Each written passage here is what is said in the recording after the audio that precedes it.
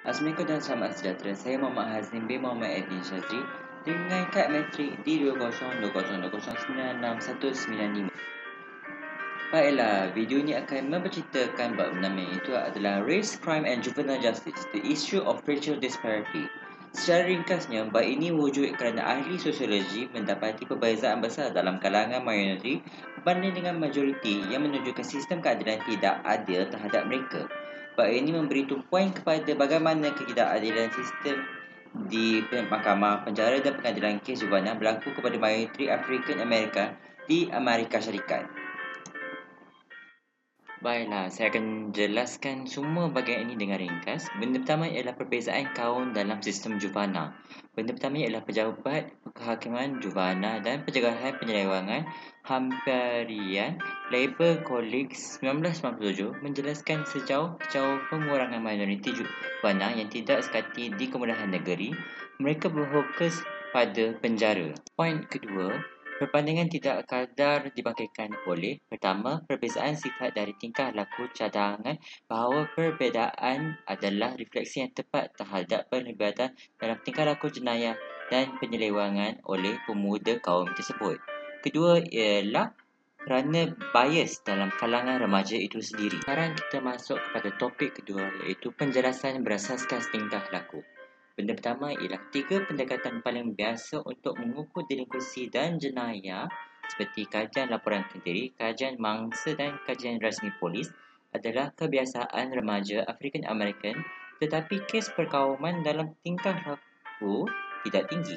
Poin kedua, kenapa African American merupakan kaum tertinggi dalam mangsa jenayah adalah kerana kemiskinan.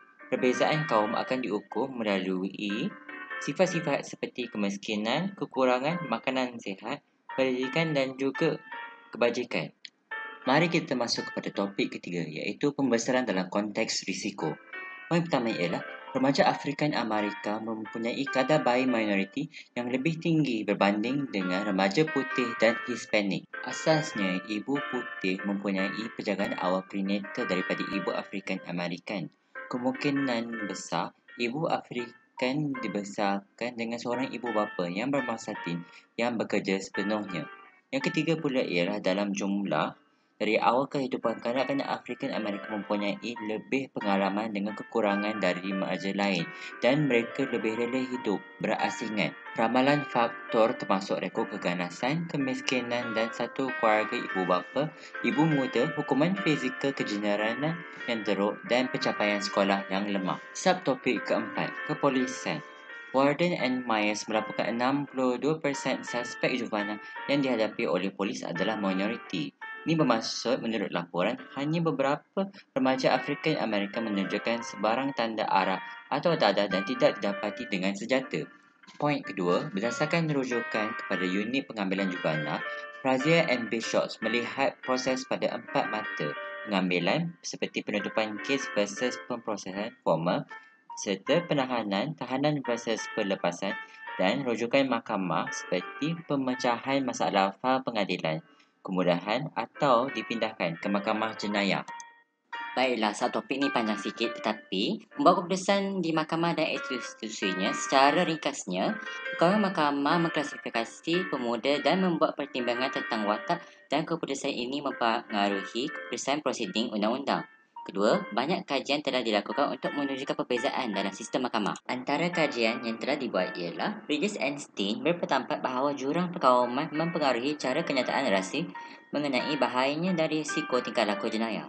Kedua, Sequoia Study menunjukkan bahawa mayoriti ditunjukkan tidak menghormati bukti sehingga berat sebelah dalam sistem mahkamah atau hukuman. Penyelidikan Bridges and Colleagues menyatakan bahawa berat sebelah dalam sistem mungkin kerana berat sebelah secara diam-diam menjadikannya sukar untuk dikesan dan menghalang perubahan dalam dasar. Kedua, Hawkins et al. menyatakan bahawa perkembangan sosial antara orang kulit hitam dan kulit putih adalah hasil perseteruan mereka sendiri. Dan akhir sekali, bagi mengurangkan jurang perbezaan kaum, mahkamah telah mewujudkan garis panduan untuk menjatuhkan hukuman bagi mewujudkan perbicaraan yang adil. Subtopik terakhir, risiko compound. Graf ini menunjukkan kebarangkalian antara jubana putih dan hitam mendapat hukuman. Oleh itu, boleh dibandingkan bagi satu pemuda hitam, dua pemuda putih diberikan hukuman. Kesimpulan baik ini ialah Bab ini berfokus kepada banyak masalah dalam sistem dan terdapat banyak cara untuk menanganinya. Antaranya ialah mengawasi kes dengan lebih dekat, membuat garis panduan untuk hakim dan juga memberi latihan sensitiviti kepada polis. Pada akhirnya bagaimanapun, golongan minoriti masih akan menghadapi masalah ini. Oleh itu, kita yang bernasib baik ini perlulah bersatu padu untuk menghentikannya. Atau kes-kes seperti ini akan bersambung menjadi masalah.